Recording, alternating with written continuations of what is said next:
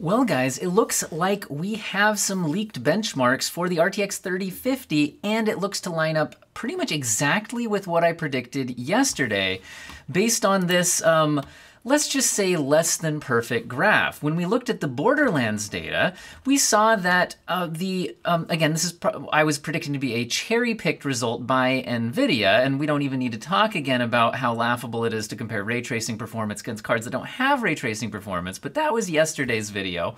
The point is, we saw that we didn't quite double the performance of the RTX, uh, not RTX, of the uh, GTX 1650.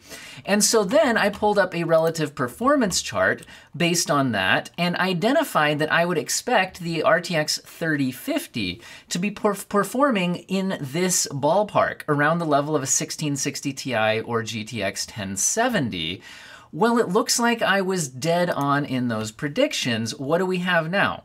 Well, here at VideoCardz, and they don't seem to be reporting on somebody else's leak, this seems to be their own information. They are crediting themselves as their own source. And so they're just saying, you know, source is VideoCardz. So I don't know, I guess maybe they have their hands on a 3050 or they know somebody who for sure does.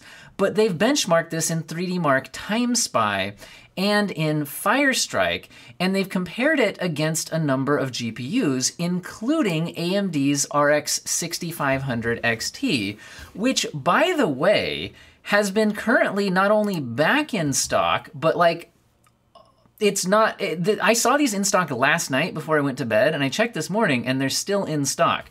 Now notice that it's not the $200 models that are in stock. It is the $270 to $300 models that are in stock. So I was also right to predict that we would see these coming in stock, but it just wouldn't be the $200 models. It would be these models. And I said that, you know, if you need to buy a, a new GPU and you have PCIe Gen 4, these might make sense if you're just allergic to the used market because if you go in the used market you could get a you know a card that doesn't have as many drawbacks as this. But again that's kind of the topic of another video. But just mentioning that these um, are coming in stock here and looks like they're sitting there at that price. I'm hoping they continue to sit here at this price until the prices come down. But anyway um So, up against a 6500 XT, we see roughly a 20% performance jump unless you're in the Firestrike uh, benchmark, where it does look like usually RDNA 2 performs well versus Ampere in Firestrike, and the uh, 3050 is barely beating the 6500 XT in Firestrike. By the way, I'm assuming this is a PCIe Gen 4 test on that 6500 XT, just to point that out.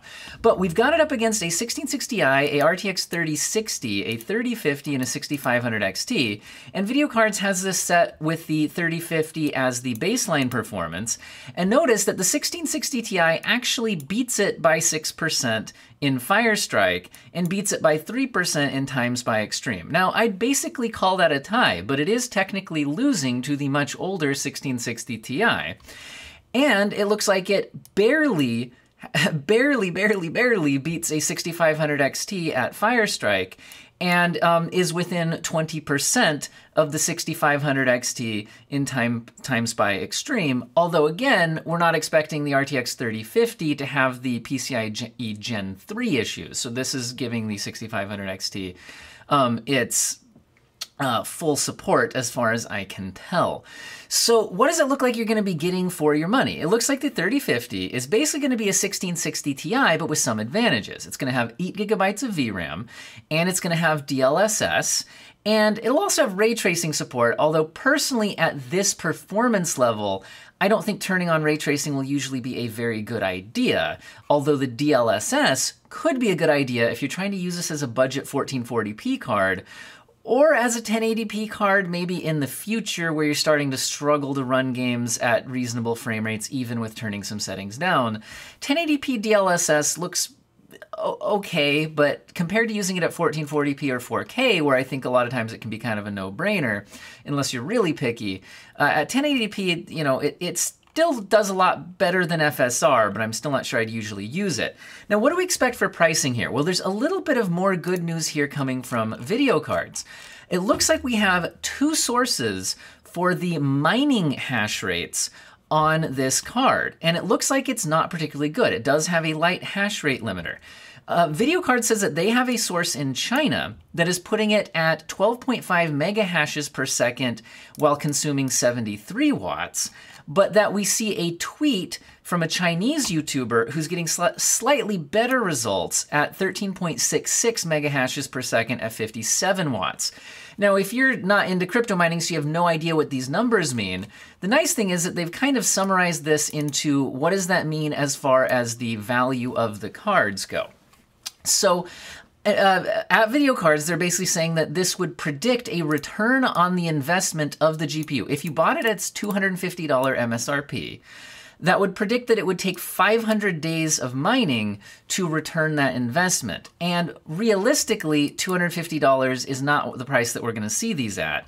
So if you bought it at 350, which I still think is wishful thinking, although bots might be able to get it at that price, um, that would be a 700 day return on investment. And remember that Ethereum should be translated. Uh, that's a typo. Hey, VideoCardz, fix fix your thing. Anyway, um, we should be seeing the proof of stake for Ethereum in June 2022. Now, I have a lot of thoughts on that. First of all, we've been supposed to see the proof of stake switch for Ethereum for a long time now. It continues to be delayed. So I don't know if we'll really see it in June.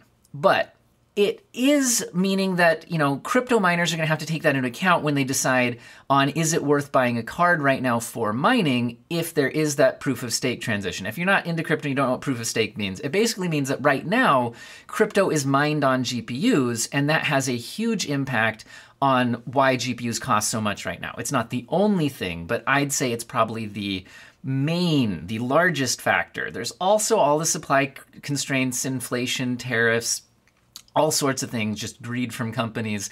Um, but crypto mining is a huge part of it. When Ethereum switches to proof of stake, it'll no, no longer be mined on GPUs if this ever really happens. Like I said, it continues to be delayed. Also, we have seen crypto prices, uh, Ethereum prices too, just plummeting recently. I didn't check this morning to see if it's coming back up at all.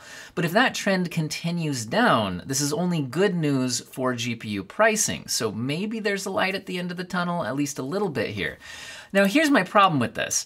Yes, it might take 500 days at MSRP to return the investment, but I think they should also take into account then the card has a resale value. So if you could then just sell the card, then maybe you could make enough profit off of the mining before the 500 days are up, right? You see what I'm saying? Maybe until June to then sell the card card used, excuse me, and still make uh, make profit on it. So I don't think that this is necessarily going to mean that crypto miners won't be interested in this card at all. Compared to the 6500 XT, for example, this was specifically designed to not be good for crypto mining because it has the 4 gigabytes of VRAM. That's one of the stated reasons, other than just keeping costs down, for the 4 gigabyte limit is that makes it just not workable as an Ethereum miner. Anyway, so the last thing I want to talk about is uh, related to pricing here on this 3050 is, well, okay, so if we pull up a relative performance chart where we're seeing that it's basically slightly slower than a 1660 Ti, but with more features, all right, that would put it right up here against a 1660 Super would be a, a really, you know, very close uh, percentage here, right? So it's right in this kind of a ballpark, probably a little bit better than a 980 Ti. So if we look up a 1660 Super and a 1660 Ti on eBay right now, and I'm just looking at the current buy it now prices, if I want to just buy this on eBay right now, it's looking like we're up around the 450 uh, dollar range, okay? And this 3050 is going to have more features, more VRAM, and it's, you know, a, a brand new card. So oh man, I really, I really think that we're we're gonna see these. I mean, first of all, there's no question they're gonna instantly sell out on day one. But then the question is, is it gonna be like the 6500 XT, where shortly after day one they come back in stock and you can actually buy them on the more expensive models? Well, I think that given given its performance level and what these are selling for used I think that the 3050, uh, even with this limited mining interest, I, I still think it's going to be at least $450 if not $500 as far as ones that you can find somewhat reasonably. Also given its performance versus a 3060 because the 3060s are generally hard to find below you know around $600. The easier to find in stock ones are usually 750, 800, 850, that kind of price range. And this is as we saw here getting us, you know, what is this? A uh, you know it, it's not quite a 50% increase in performance for the 3060 but it is a, a pretty big jump there. Um, also here here's the other kind of elephant in the room on all this. Um, i don't think they're going to make very many of these. As far as we know the 3050 is being manufactured using the same chip as a 3060 but it's like only 60% of the chip enabled. So if I, and we also don't have any reason to believe that Samsung's process that they're producing this on is struggling. Given that at the uh, upper end chips, right, like the 3080, they're getting such good yields that, that, that they're not having to use those chips as 3080s. They, they're able to do these better, like uh, 12 gigabyte versions and the 3080 Ti and the 3090, even the 3090 Ti come out, telling us that most of those dies are probably in good enough shape that they don't have serious defects that require them to be cut down a lot. Which, which would affect you know the model that you get out of it. So if they don't have a lot of 3060 dies that are in such bad shape that they need to be cut down to be a 3050, what is the incentive to have a card like the 3050 actually be produced when you could just make a 3060 and sell it for more money? So I really don't think we're going to see very many of these. I think this is going to be more of a paper launch to on paper compete well against the 6500 XT and then whatever cheap uh, Intel GPUs we get coming out later this year. So NVIDIA can say that they have a good competitor to those, whereas in reality, those cards are, for the most part, actually 3060s and being sold at a much higher price. Anyway, what do you guys think? Let me know in the comment section. Have an excellent day.